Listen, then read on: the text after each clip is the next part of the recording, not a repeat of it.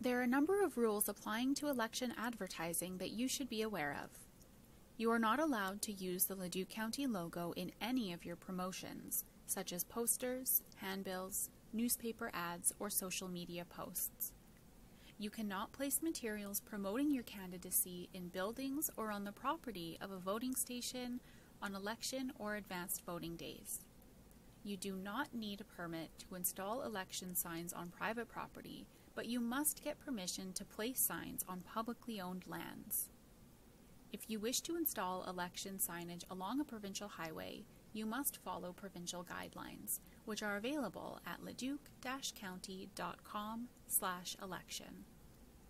All election signage must be removed by midnight on October 21st.